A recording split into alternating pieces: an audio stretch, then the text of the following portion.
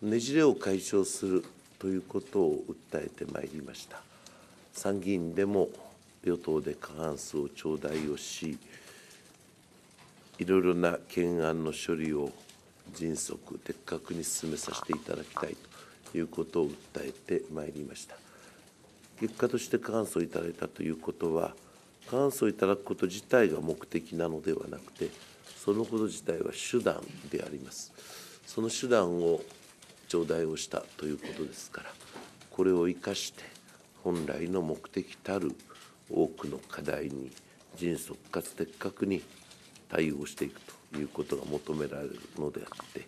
我々に与えられた責任はさらに重かつ大になったというふうに認識をしておるところでございます。この結果に決しておごることなく国民のご期待に応えるべく総力を結集してまいりたいこのように考えておるところでございます。あの今回からネット選挙が解禁されて初めてのまあ国政選挙だったんですけれども自民党としてまあそれを有効に生かすことができたかというかその辺の総括を伺えますでしょうかこれはあのネット選挙はあ我が党として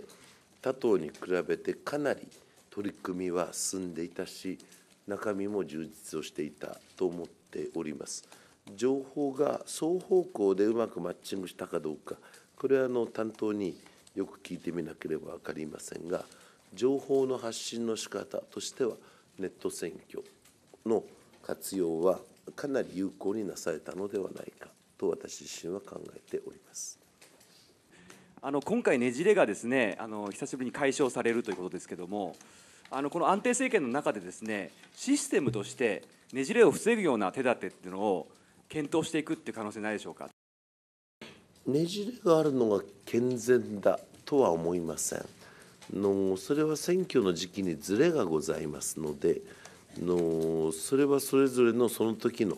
直近の民意が示されるということでございますから政権与党が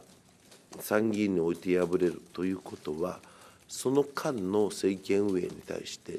国民が否定をされた。ということですからそれはそれで有効な判断だと思っております。ですからそういう判断がなされないように政権の運営をしていかねばならないということであってねじれがあるから健全だということではなくて民政の持つそういう機能というものを与党としてよく認識をしながら両方とも多数をいただくような運営をするということに尽きるのだと思